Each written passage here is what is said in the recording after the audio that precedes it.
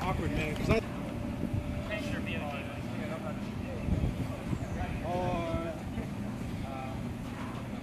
Yeah, so from Oh. the snake, I think. Hollis, Hollis there. Oh, You on Mike's stand? well, I've going this way. My good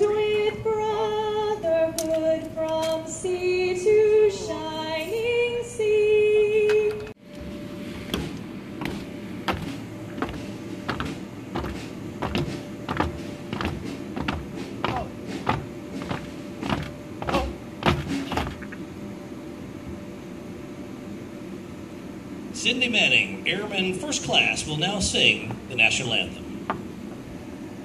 Oh, say, can you see by the dawn's early light what so proudly we hailed at the twilight's last gleaming, whose broad stripes and bright stars